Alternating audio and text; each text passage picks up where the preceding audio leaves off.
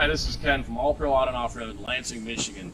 Uh, been building Jeeps for about 20 years now. Uh, with the new JKs and then the new JLs coming out, spare tire is always a concern. Uh, with the JKs, we've had relatively decent results with several different brands, but slightly mixed results.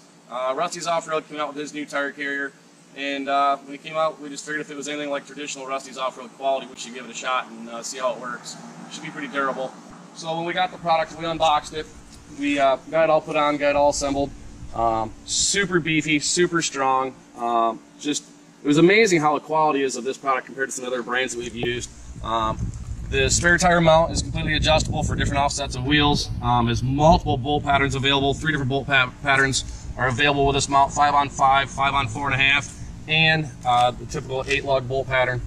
The biggest shock to us is once we got it installed, how smooth and easy the door opened compared to factory uh, hinges and compared to some of these aftermarket replacement systems.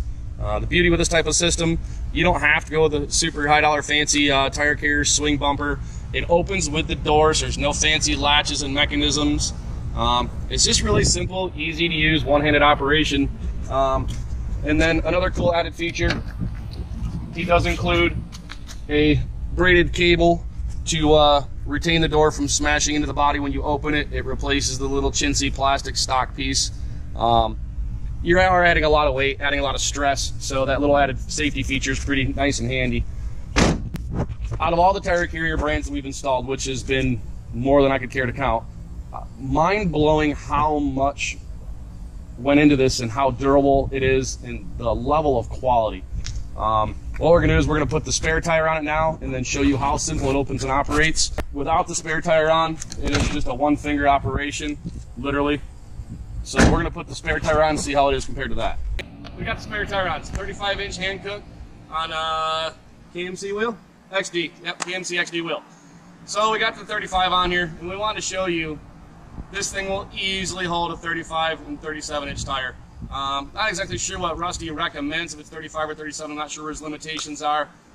I'm going to say you can pretty much put whatever you want on it within reason. Um, to show that, I'm getting a little pudge here, a little more than I what I used to weigh. We're going to show you how easy this door opens up.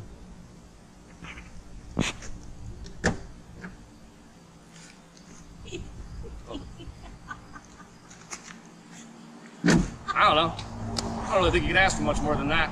Uh, simple one-handed operation with even my big old butt on here. So if you're looking for a good tire care, it's probably the only one I would recommend. See you guys.